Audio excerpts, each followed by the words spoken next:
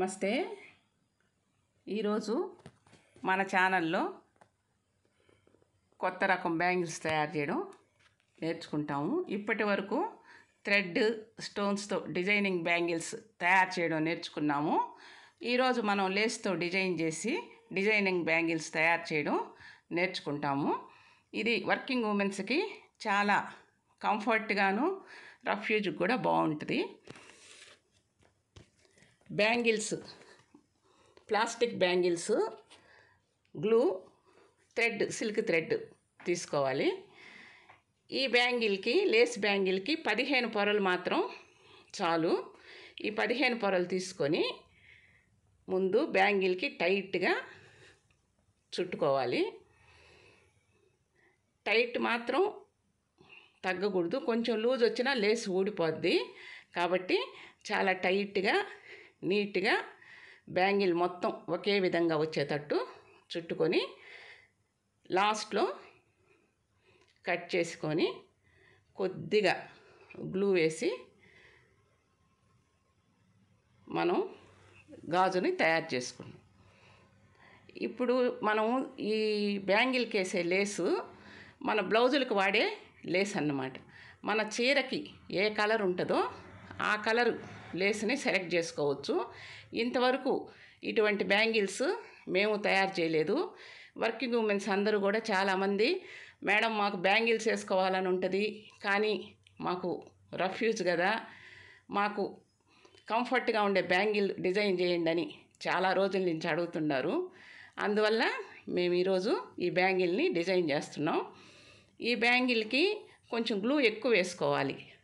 మొత్తం కూడా మన స్టోన్స్ బ్యాంగిల్ కంటే కూడా కొంచెం ఎక్కువగా చిక్కగా గ్లూ చుట్టూ సమంగా వచ్చేటట్టు గ్లూ వేసుకోవాలి. ఈ లేసు చీరలో మ్యాచింగ్ కలర్ లేసే తీసుకుంటే మనకి చీరకి కరెక్ట్గా మ్యాచింగ్గా ఉంటుంది. రఫ్యూజ్కి కూడా బాగుంటుంది. ఎందుకంటే నీళ్ళు తగిలినా ఈ లేస్ ఏం కాదు. ఎందుకంటే మనం బ్లౌజ్కి వేసుకుంటాం కదా అది మనం వాష్ చేస్తాం. కానీ లేస్ కలర్ పోదు. అందువల్ల చూసారు కదా చిక్కగా బ్యాంగిల్కి చుట్టూ గ్లూ పూసుకోవాలి. ఇప్పుడు లేస్ని స్టార్టింగ్ నుంచి స్టార్టింగ్ కొంచెం అదేం పట్టుకొని చుట్టూ సమంగా వచ్చేటట్టు నిదానంగా ఈ లేస్ని చుట్టూ లాస్ట్ దాకా వచ్చేటట్టు చూసుకొని ఇక్కడ గట్టిగా పట్టుకొని కొస కట్ చేసుకోవాలి. ఈ లేస్కి కొంచెం థ్రెడ్స్ మిగులుతాయి.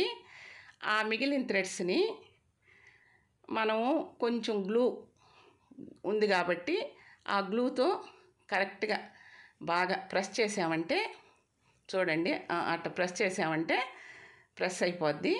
తరువాత గాజంతా కూడా మనము ఈ లేస్ని సమంగా వచ్చేటట్టు చూసుకోవాలా.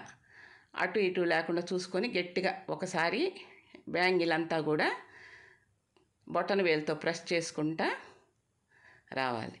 లాస్ట్ ఎడ్జ్ మాత్రం మళ్ళీ ఇంకొకసారి ఆ థ్రెడ్స్ అన్నీ కూడా లోపలికి పోయేటట్టు చూసుకొని నీట్గా ప్రెస్ చేసేసి ఒక పది నిమిషాలు కానీ ఆరబెట్టామంటే బ్యాంగిల్ అంతా కూడా బాగా సెట్ అయిపోద్ది. చూడండి బ్యాంగిల్ అంతా సమానంగా ఎలా వచ్చిందో లేస్ అంతా కూడా చూశారు కదా.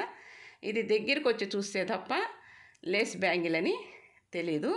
ఈ చీరలో కలర్ వచ్చి మనం థ్రెడ్ చుట్టుకున్నాము. ఈ బార్డర్ కలర్ గోల్డ్ కలర్ కలిసిన లేస్ తీసుకొని ఈ బ్యాంగిల్స్ తయారు చేసుకున్నాము. ఇవి నీటిలో నానినా కూడా ఏమి కావు. కానీ చేసుకునేటప్పుడే ఒక రెండు బ్యాంగిల్స్ ఎక్కువ చేసుకున్నామంటే ఒక నెల వాడిన తర్వాత బ్యాంగిల్ షైనింగ్ పోయినా కూడా మళ్ళీ ఇంక రెండు తీసుకోవచ్చు. చాలా అతి తక్కువ ధరతో ఎక్కువ కాలం మన్నే బ్యాంగిల్స్. ఇంతవరకు మేము కూడా ఇలా బ్యాంగిల్స్ చేయొచ్చు అని కూడా అనుకోలేదు. ఈ వర్కింగ్ ఉమెన్స్ కోసమే ఇది ఐడియా చేసి ఈ బ్యాంగిల్స్ చేసాము. కాబట్టి మీరందరూ కూడా తయారు చేసుకోండి. దయచేసి అందరూ లైక్ సబ్స్క్రైబ్ అండ్ షేర్ చేసి మమ్మల్ని ప్రోత్సహించే ప్రార్థన. Please like subscribe and share. Thank you.